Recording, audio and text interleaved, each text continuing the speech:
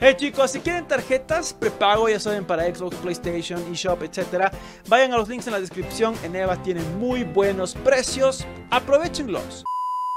Hey chicos, mi nombre es Ken, sean bienvenidos a un nuevo Super Ken Show. El día de hoy Vamos a hablar de God of War, nuevo juego para 2019 Ojo, nuevo juego, no videojuego Porque vamos a hablar del juego de mesa que se va a lanzar de God of War en 2019 La historia que se cuenta en dicho juego Porque va a tener aparentemente una historia. Obviamente no es tan compleja porque no es un juego per se con mucho lore es un juego de mesa, pero está interesante, inclusive nos puede revelar pistas de lo que se vendrá en un próximo título.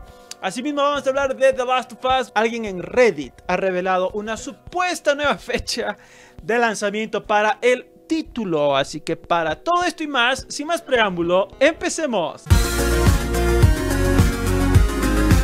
Muy bien, entonces, el primer tema, nueva fecha supuestamente de lanzamiento para The Last of Us Part 2. Alguien en Reddit publicó este mensaje bastante extenso que nos indicaría supuestamente cuando The Last of Us Part 2 se va a lanzar. En resumidas cuentas, mayo 22, 2020. Lo que se dice aquí es que Naughty Dog aparentemente habría estado empujando la idea de invierno 2020, pero que fue Sony la que impuso que se lance en primavera de 2020, de ese mismísimo año. Entonces, por eso mayo 22, 2020 habría sido la fecha final. Aparentemente, de acuerdo a Naughty Dog, ellos querían más tiempo para mejorar la calidad de cierto contenido, incluyendo texturas, animaciones de ciertos personajes y escenarios. Ahora, tomen esto con pinzas porque la fuente para esto es supuestamente una fuente interna dentro de los equipos de desarrollo de Naughty Dog que ha revelado esta información de forma confidencial. Previamente algunos insiders habían reportado que la fecha de lanzamiento habría sido, o bueno, se estaría pensando que sea, febrero de 2020. Inclusive la propia actriz Ashley Johnson, que, que da la voz a Ellie, ella había dicho, bueno, quizás puede que se lancen dijo en una entrevista y alguien le interrumpió y la gente supuso, bueno, creo que iba a decir febrero, ¿no? El punto es este, el juego se lanza en 2020, cero probabilidad que se lance en 2019, se lanzará en febrero, en marzo, abril, mayo, la verdad no hay gran diferencia ahí. De todas formas, sobre esto lo tomo con pinzas, no creo que la verdad sea tan relevante esta información. Muy bien, entonces, ahora hablemos del juego de cartas, que es también un juego de mesa que se viene de God of War. Ahora, juegos de cartas últimamente están aparentemente muy populares en los videojuegos. Street Fighter ya ha tenido un juego de mesa.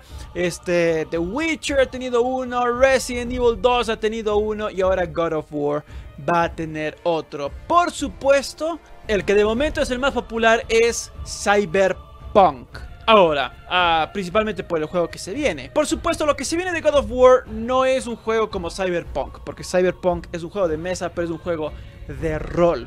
Estos son juegos súper largos, súper complejos, requieren manuales, libritos, un montón de cosas para poderlos jugar. Son súper extensos.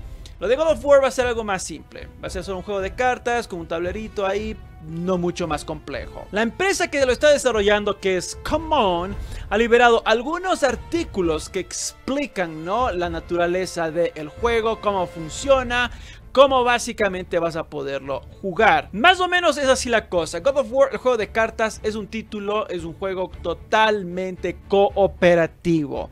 Como tal, tendrá escenas en las cuales un personaje asume el papel de enemigo con el cual lucharán varios jugadores, así como el campo de batalla en el que se enfrentarán. Cada escena está formada por 8 o más tarjetas de doble cara de tamaño. Más o menos es así como van a ser las tarjetas, los escenarios, los enemigos con los que nos enfrentaremos. Entonces tenemos que cumplir misiones a lo largo de este juego de cartas. Tenemos que usar héroes para poder completar dichas misiones. Héroes va a haber algunos. Ah, tenemos a Kratos, Atreus, Freya, a Mimir y a Sindri y Brock. Sindri y Brock van a ser un héroe, los dos en conjunto. La historia detrás de este juego de cartas es muy interesante. Se dice Ragnarok, el fin del mundo, el acontecimiento cataclísmico que acabará con todo, debe ser detenido. Las Nornas buscan detener al Ragnarok, contemplando el futuro potencial de los poderosos guerreros, cada uno con sus propias habilidades y habilidades especiales que aportan a la lucha. Es solo mediante la combinación de las diversas fuerzas y habilidades del héroe que vencerán. En este artículo para God of War de Card Game, echamos un vistazo a los diferentes héroes que los jugadores pueden controlar en el juego y vemos qué es lo que los diferencia uno del otro. Entonces, se explica que cada héroe tiene un mazo de 14 cartas, hecho a la medida de las fortalezas y el estilo de juego del héroe. El tablero muestra el total de salud del héroe, así como su habilidad especial, la ira. Todos los personajes en este juego de mesa tendrán la ira como su componente especial. Kratos, por ejemplo, va a tener 10 de vida, ah, tiene su pista de ira tiene 5 espacios, lo cual será bastante demorado de llenar, pero una vez que se llena puede causar mucha destrucción. También tendremos, por ejemplo, a Atreo, el cual solo tiene el cual solo tiene 7 puntos de vida y su barra de ira, pongámoslo así, solo tiene 4 espacios, pero eso significa que lo puedes usar con más frecuencia. Y es aquí cuando se muestra que este juego tiene ciertos elementos de un juego de mesa de rol. Se dice, si bien los elementos en las cartas no son del mismo nivel de poder que Kratos, lo que se espera solo que, porque solo es un muchacho, son sólidos y también pueden hacer cosas como aturdir al enemigo o perforar su armadura fácilmente. Y asimismo, por ejemplo, tenemos a Freya, la cual es muy diferente obviamente de los anteriores. Tiene 8 de salud y tiene una pista más larga de ira, que son 6 espacios. Es más largo hasta que del mismísimo Kratos. El poder de ella, aunque se demora más en ser activado, es más duradero. Entonces, como puedes ver, esto nos indican los creadores. A cada héroe tiene sus propias fortalezas que aportan al tablero. Trabajando juntos, ciertamente pueden encontrar una manera de evitar que el Ragnarok suceda. Estén atentos para más avances de God of War The Card Game a medida que nos acercamos a su lanzamiento del tercer trimestre. Las cartas de God of War The Card Game evolucionan el juego de un simple constructor de mazos a un juego de cartas de aventuras tácticas donde el jugador maniobra alrededor de un espacio de juego, atacando y defendiéndose contra elementos que cambian continuamente.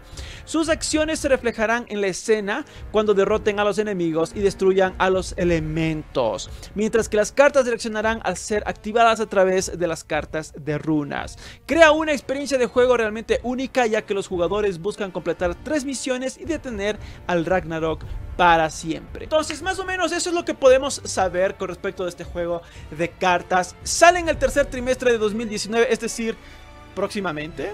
Porque ya estamos en el tercer trimestre de 2019, siendo obviamente julio, agosto, septiembre.